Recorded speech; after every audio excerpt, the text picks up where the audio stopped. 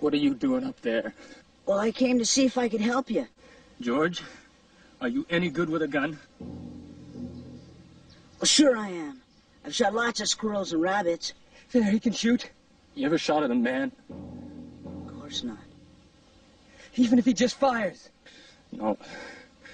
I think it's better you keep loading Pa's rifle while I'm using mine. You're right. Something's wrong. They're waiting too long to attack. Maybe they had enough and left. Don't figure. Maybe they ran out of ammunition. We almost have. They could be waiting for some of the other Shepherdsons.